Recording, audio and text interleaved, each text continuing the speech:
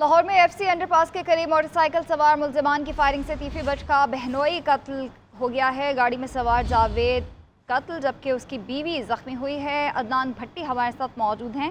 अदनान, बताए गए इस वाक़े के हवाले से? जी एफ़ सी अंडर पास के करीब जो किनाल रोड है, एम शाहरा कहलाती है, जहाँ पर नामलूम मोटरसाइकिल सवारों ने फायरिंग करके तीफी भट्ट के बनवई। जवेद भट्ट को कत्ल कर दिया और उनके साथ जो उनकी एहलिया थी उनको भी गोली लगी है जो जख्मी है और उन्हें अस्पताल मुंतकिल कर दिया गया है।